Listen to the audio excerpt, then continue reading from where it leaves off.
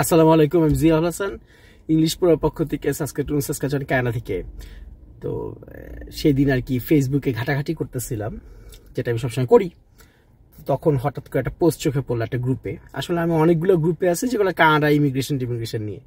তো ওই ভাই যেটা লেখছে মানে অসাধারণ একটা কোশ্চেন এবং মিলিয়ন ডলার কোশ্চেন তো ভাইয়ের লেখাটা এরকম ছিল যে, আমি একটা ব্যবসা করি, আমার একটা ছোট একটা মেয়ে আছে, আমার ওয়াইফ আছে। ব্যবসায় মোটামুটি আমার ইনকাম হচ্ছে দুই লাখ টাকার মতো মান্থলি তো মান্থলি দুই লাখ টাকার মতো আমার গাড়ি আছে, আমার ফ্ল্যাট আছে, আমি মোটামুটি ভালো আছি বাংলাদেশে।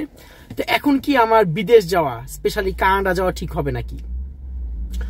তো এইটা ছিল যে ভাইয়ের কোশ্চেন এবং এটা হচ্ছে মিলিয়ন ডলার কোশ্চেন মানে এটা আসলেই খুবই মানে অসাধারণ ভালো একটা কোশ্চেন এবং যে কোশ্চেনটা প্রত্যেকের করা উচিত। কানাডাতে যাব সেরকম চিন্তা করার আগে মানে প্রথম কোশ্চেনটাই, যে কোশ্চেনটা আপনার মাথায় আসা আসা উচিত, সেটা হচ্ছে এটা। যে বাংলাদেশে আপনি কেমন আছেন এবং কানাডা গেলে আপনি কেমন থাকবেন? বা বাংলাদেশে আপনার অবস্থা কি অবস্থায় আছেন? এখন এই কোশ্চেনের উত্তর দেওয়াটা আসলে ঠিকই কারণ এইটা আপনার খুবই সাবজেক্টিভ একটা কোশ্চেন খুবই সাবজেক্টিভ এটা আসলে বলা যায় না। এটা ব্যক্তি বিশেষে ডিপেন্ড করবে। তারপরে আমার মোটামুটি আমার একটা থিওরি আছে, আমার একটা ক্রাইটেরিয়া আছে। এই ক্রাইটেরিয়ার সাথে যদি আপনার মিলে তো সেক্ষেত্রে আপনার উচিত হবে বিদেশে যাওয়া। বিদেশ বলতে আমি মোটামুটি উন্নত দেশগুলো বুঝাইতেছি স্পেশালি কানাডা। আর এই ক্রাইটেরিয়ার সাথে যদি না মিলে, তাহলে আপনার আপনার ঠিক হবে না। আপনার বাংলাদেশেই থাকা আপনার জন্য ভালো হবে। তো ক্রাইটেরিয়াটা কি? তো সেটা আমি পরে আসতেছি। তো যাই হোক, এখন মার্কেটিং এর কথাবার্তা কিছু বলতে হয় মূল ভিডিওতে যাওয়ার আগে।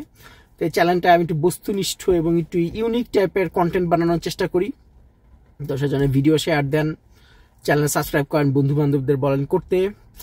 আর চ্যানেলে আমাকে প্রশ্ন করতে পারেন, যে কোনো ভিডিওর কমেন্ট বক্সে আমি একজন আরসিএসি কানাডা ইমিগ্রেশন ভিসা টিসা হাবি জাবি এগুলো নিয়ে করতে পারেন। আশা করা যায় আমি উত্তর দিব অলরেডি দিচ্ছি। আর যারা এই ভিডিওটা ফেসবুকে দেখতেছেন, তো মানে আমার ইংলিশ পুরো পেজে তো সাধারণত আমি ফেসবুকে একবার ভিডিও দিয়ে আমি আর যাই না। তো সেজন্য ওইটা আসলে দেখা, ওইটা মানে ওখানে ওখানে কমেন্ট করে খুব একটা লাভ নাই বা প্রশ্ন করে লাভ নাই। আমার ইউটিউব চ্যানেলে করতে পারেন, তাহলে আমি উত্তর দিব। তো ফেসবুকে যারা এই ভিডিওটা দেখতেছেন, এই ভিডিওর প্রথম কমেন্টে আমার ইউটিউব চ্যানেলের লিঙ্ক পাবেন। এছাড়া একটা ব্যাপার হচ্ছে যে আমি ইংলিশের কোর্স নেওয়া শুরু করছি অনলাইনে একেবারে বেসিক ইংলিশের কোর্স স্পোকেন এখন আমাদের রাইটিং আর রিডিং আসলে যায়, খুব একটা লাভ নাই আইএলটিএস এর অত দরকার নাই। আমি এই কোর্সটা যাদের জন্য সাজাইছি, যে যারা অলরেডি ধরেন বয়স হচ্ছে তিরিশ, পঁয়ত্রিশের মধ্যে, ছত্রিশের মধ্যে এবং স্পেশালি যারা দেশের বাইরে থাকে, যেমন ধরেন আপনার সৌদি আরবে থাকে, মালয়েশিয়াতে থাকে, আপনার সিঙ্গাপুরে থাকে, কিন্তু তারা জাস্ট ইংলিশে একটু বলতে পারলে হয়তো বা তারা সুপারভাইজারি লেভেলে যাইতে পারতো, একটু ভালো কাজ করতে পারতো, একটু বেশি টাকা ইনকাম করতে পারতো, তো তাদের জন্য। একেবারে শর্টকাটে ইংলিশ অনেক বড় ল্যাঙ্গুয়েজ তাই অনেক কিছু ফেলে টেলে দিয়ে। আমাদের জাস্ট ডে টু ডে যা বলতে হয়, সেটুকুর উপর ভিত্তি করে একটা সিলেবাস বানানোর চেষ্টায় আমি আসি জাস্ট একটা ছোট একটা সিলেবাস যেটা দিয়ে মোটামুটি শর্টকাটে কিছুটা বলতে পারা যাবে। তো সেরকম। অবশ্যই যে মানে পড়বে, তো তারও কিছু মানে এফোর্ট যথেষ্ট থাকতে হবে। তো সেরকমই একটা চেষ্টা আছে আর কি। তো এখন বাকিটা আল্লাহর ইচ্ছা। তা আপনারা যোগাযোগ করতে পারেন আমার সাথে। কমেন্ট বক্সে বা যেভাবেই হোক। যদি আপনারা ইন্টারেস্টেড হন বা আপনাদের পরিচিত কেউ যদি ইন্টারেস্টেড হয়। যাই এখন তাহলে মূল ভিডিওতে যাই। এখন ব্যাপারটা হচ্ছে যে কানাডায়, কানাডা মানে কি? প্রথমে দেখেন থামনিলে আমি লিখছি আসলে বিদেশ। তো প্রথমে বিদেশের কথাতে আসি। বিদেশের মধ্যে যেগুলো ধর মিডল ইস্টার্ন কান্ট্রি বা যেগুলোতে পিআর হিসাবে আসা যাবে না। ওয়ার্ক পারমিট বা ধরেন হচ্ছে গিয়ে স্টাডি পারমিট বা হইতে পারে যে পিআর যেগুলোতে মানে পিআর পাওয়ার পসিবিলিটি আছে, আমি সেই দেশগুলোকে ধরতেছি। পিআর পাওয়ার পসিবিলিটি কোন দেশগুলোতে আছে? কানাডাতে আছে, জার্মানিতে আছে, জার্মানিতে ইদানিং পিআর হয়। আপনার জাপানেও পিয়ার হয়। আর তাছাড়া মোটামুটি, আর একটা যেটা দেশ, খুব ভালো দেশ, অস্ট্রেলিয়া। অস্ট্রেলিয়াতেও আছে।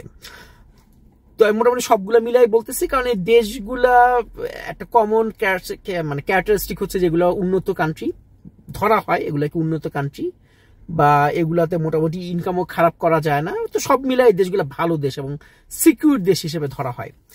তো প্রথম যেটা আমার মনে হয়, আমি এত বছর বাইরে থাকার পরে যদি আমার ভুল হইতে পারে, আমার অ্যানালাইসিসে ভুল হইতে পারে, প্রথমে ডিপেন্ড করবে যে আপনি কি দেশের বাইরে যাবেন কি যাবেন না। সেটা নেয়ার প্রথম ক্রাইটেরিয়া হচ্ছে যে আপনাকে আগ্রহ আছে নাকি। যেমন আমার আমার অনেক আগ্রহ ছিল। আমি সারা জীবন, বাচ্চাকাল থেকে আমি দেশের বাইরে যেতে চাইতাম। বাচ্চা মানে জ্ঞান হওয়ার পর থেকে আমি চলে যেতে চাইতাম। তা আমার ভিতরে ওরকম একটা আগ্রহ ছিল। তো সেজন্য প্রথমে আমি ইউরোপে গেছি, পরে কানাডাতে আসছি, সেটা অন্য হিসাব। তো অনেকেরই আগ্রহ থাকে না। অনেকে চিন্তা করে যে, না মানে যাব কি দরকার? দেশই তো ভালো আত্মীয় স্বজন সব আছে। মানে ঘর কোনো টাইপের। তো সেরকম যদি হয়, তাহলে এটা আসলে মুশকিল। দুই নাম্বার, যে আপনার ইংলিশ কেমন? এমনকি আপনি যদি ইংলিশ নন ইংলিশ স্পিকিং কান্ট্রিতেও যান, জার্মানি, জাপান, টাপান যান, তারপর আপনার ইংলিশ লাগবে। কারণ ওই দেশের ল্যাঙ্গুয়েজ শিখার আগ পর্যন্ত আপনাকে ইংলিশে কথা বলতে হবে। সো আপনার ইংলিশ ভালো হইতে হবে। আপনার ইংলিশ যদি যথেষ্ট পরিমাণে ভালো হয়, আপনি যদি কথাবার্তায় মোটামুটি ভালো মানে কনভারসেশনাল ইংলিশ যদি আপনার ভালো হয় ভেরি গুড তিন নাম্বার হচ্ছে, যাদের বয়স তিরিশ থেকে পঁয়ত্রিশের মধ্যে, তিরিশ থেকে পঁয়ত্রিশের মধ্যে, তো তাদেরকে আমি বলব যে আপনাদের জন্য ভালো সময় যাওয়া যায়, বা আরও যদি বয়স কম হয় তাহলে আরও ভালো। যেহেতু আমি ধরে নিচ্ছি যে মোটামুটি মাসিক আর্নিং প্রায় দুই থেকে আড়াই লাখ টাকা, তো সেই হিসাবে এটা মোটামুটি যে তিরিশ থেকে পঁয়ত্রিশ যাই হয়তো বা এই টাকা বাংলাদেশে অনেকে আর্ন করতে পারে, আর আগেও পারে তা আমি ধরে নিচ্ছি সেজন্য তিরিশ থেকে পঁয়ত্রিশ হলে ভেরি গুড পঁয়ত্রিশের বেশি যদি হয় বয়স, তাহলে একটু চিন্তা করার ব্যাপার আছে যে আসলে আপনারা তখন যাবেন নাকি। আরেকটা বিষয় হচ্ছে যাদের টেকনিক্যাল লাইন টেকনিক্যাল জ্ঞান ভালো বা টেকনিক্যাল লাইন যেমন ধরেন ইঞ্জিনিয়ারিং কোনো বা আইটি এই জাতীয় লোকদের খুবই ভালো। এই এই জাতীয় লোকদের আসলে যাওয়া উচিত। আর শেষ পয়েন্টটা যেটা খুবই ইম্পর্টেন্ট পয়েন্ট সেটা হচ্ছে যে আপনি কোন ভিসায় যাইতে পারতেছেন। কোন ভিসায় যাইতে পারতেছেন। যদি আপনি পিয়ার নিয়ে যাইতে পারেন, তাহলে আপনার যাওয়া উচিত। কোনো কথা নাই। যেমন পিয়ার নিয়ে যদি আপনি কানাডাতে আসতে পারেন, সরাসরি পিয়ারনে চলে আসতে পারেন, তাহলে আপনার চল্লিশ, বিয়াল্লিশও আসলে খুব একটা সমস্যা নাই। কিন্তু যদি আপনি পিয়ার নিয়ে না আসেন, স্টুডেন্ট ভিসায় আসেন, তাহলে আমি বলব যে পঁয়ত্রিশের পরে না আসাই ভালো। পঁয়ত্রিশের পরে আসলে অনেক বেশি হেকটিক হয়ে যাবে। ঠিক আছে? সো পিয়ার নিয়ে যদি যাইতে পারেন, সেটা অস্ট্রেলিয়া হোক, কানাডা হোক, বা গ্রিন কার্ড নিয়ে যদি যাইতে পারেন, সরাসরি আমেরিকা হোক, তাহলে ইন দ্যাট কেস পঁয়ত্রিশ, পঁয়ত্রিশের আগে যদি হয়, তো ঠিক আছে, আপনি যাইতে পারেন।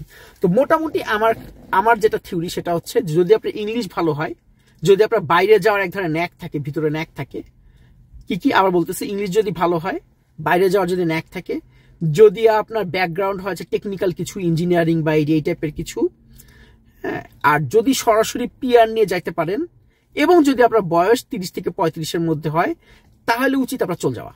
বাংলাদেশে যদি আপনার দুই আড়াই লাখ টাকা স্যালারি থাকেও, বাংলাদেশের স্যালারি বা ইনকাম যেটাই হোক আপনার যদি থাকেও, তারপরে আপনার উচিত বিদেশে যাওয়া ফ্যামিলি নিয়ে চলে যাওয়া। মানে ভেরি গুড ডিসিশন এটা হবে। আর এর মধ্যে কোনো একটা যদি কম থাকে, তাহলে সেক্ষেত্রে আমি বলব মানে কোনো একটা যদি এদিক ওদিক থাকে, যেমন ধরেন কম মানে কি, বয়স ধরেন তিরিশ, পঁয়ত্রিশের উপরে, সেই হিসাবে কম। মানে বয়স কম না বাট বলতেছি এই ক্রাইটেরিয়াতে কম আর কি ক্রাইটেরিয়ার যে হচ্ছে মানে কি বলা যায় ইউটিলিটি ওই দিক থেকে চিন্তা করলে কম। তাহলে আমি বলব যে সেকেন্ড বার চিন্তা করতে। তাহলে হয়তো বা ভালো ডিসিশন নাও হইতে পারে। তবে এই সব কিছুই ছাপায় যায়, ধরেন যদি আপনার টেকনিক্যাল ডিগ্রি নাই, ঠিক আছে ফাইন বুঝলাম। এবং আপনার ধরেন কি বলা যায়, আপনার সেই ইংলিশে কনভারসেশন ইংলিশ অত ভালো না, বুঝলাম। আপনার বয়স চল্লিশ, বিয়াল্লিশ, বুঝলাম। এবং হচ্ছে কি বলা যায় যে আপনার আগে অত যাওয়ার ইচ্ছা ছিল না, ইদানিং ইদানিং ইচ্ছা হচ্ছে, অত যে ন্যাক আছে তা না, বুঝলাম। তারপরেও আপনি আসতে পারেন। তারপর আপনার আসার জন্য গুড ডিসিশন হবে যদি আপনার সেই পরিমাণ টাকা থাকে। মানে ধরেন আপনি পিয়ার হিসেবে আসতেছেন না স্টুডেন্ট ভিসে আসতেছেন, ঠিক আছে, অসুবিধা নাই। কিন্তু আপনার বাকি যেগুলো বললাম, যে আপনার তো আগ্রহ নাই, আপনার মোটামুটি কি বলা যায় যে আপনার টেকনিক্যাল কোন ডিগ্রিও নাই আপনার ইংলিশও তো ভালো না, তারপরেও আপনি আসতে পারেন। আপনার জন্য আসাটা গুড ডিসিশন হবে। বাংলাদেশে দুই দুই আড়াই লাখ টাকা যেটাই হোক সেই ইনকামটা ফালায়। যদি আপনার সেই পরিমাণ টাকা থাকে, আপনি সেই পরিমাণ টাকা আনতে পারেন। ধরেন বাংলাদেশে আপনার তিন চারটা ফ্ল্যাট আছে, আপনার ফ্ল্যাটগুলোতে না, আপনি এখানে চলে আসলে ফ্ল্যাটগুলো আপনার থাকবে। তো আপনি খুব ভালো কথা, এবং আপনার অনেক ক্যাশ টাকা আছে, পঞ্চাশ, ষাট লাখ টাকার মতো ক্যাশ টাকা আছে। তো সেটা নিয়ে যদি আপনি কানাডা চলে আসতে পারেন, বা কোনোভাবে ট্রান্সফার করে আনতে পারেন, বা যাই হোক আর কি যেভাবে আপনার টাকা আছে, তাহলে সেক্ষেত্রে আপনার জন্য একটা গুড ডিসিশন হবে। যদি স্টুডেন্ট ভিসাতে আসেন, তাতেও। অ্যাটলিস্ট আপনি আসার পরে এখানে আপনার চলতে সমস্যা হবে না, মোটামুটি টাকা ভালোই পরিমাণে থাকবে, আপনার বাইট এরিয়াটা কিনে ফেলতে পারবেন, একটা সেট লাইফ হয়ে যাবে আপনার, একটা গাড়ি বাড়ি কিনে মোটামুটি একটা সেট লাইফ হয়ে যাবে, আপনার সিকিউরিটি থাকবে, কারণ টাকা আপনাকে সিকিউরিটি দিবে। বুঝছেন? মানে মানি টক্স মানে টাকা আপনাকে সিকিউরিটি দিবে। সো আপনার যদি সেই পরিমাণ টাকা থাকে, আপনার যদি ভালো পরিমাণে টাকা, আপনার ফাইন্যান্সিয়াল ব্যাকগ্রাউন্ড যদি খুব ভালো হয় ফাইন্যান্সিয়াল ফাউন্ডেশন যদি খুব স্ট্রং হয়, তাহলে আপনি যে কোনো বয়সে যে কোনোভাবে যে কোনো সময় বিদেশে যাইতে পারেন যে কোনো দেশে যাইতে পারেন লিগালি আমি মনে করি তাতে কোনো সমস্যা নেই। লিগালি আমি বলতেছি যে স্টুডেন্ট ভিসা বা হচ্ছে লিগাল ওয়ার্ক পারমিট বা আপনার পিআর হিসাবে হলে তো কোনো কথাই নাই।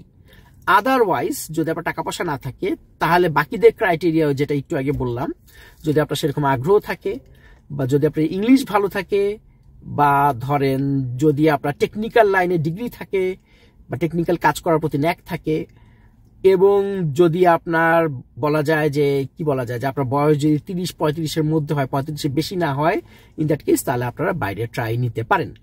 আর তা না হলে আর মনে হয় দেশে যদি দুই আড়াই লাখ টাকা কারও যদি ইনকাম থাকে, বউ বাচ্চা নিয়ে এসে যদি ভালো থাকে, একটা ছোট একটা বাড়ি থাকে থাকার মতো, এবং সবকিছু মিলে চিমচাম ভালো যদি লাইফ থাকে, তাহলে দেশে থাকাটা আমার মতে খারাপ না, এটা ভালো।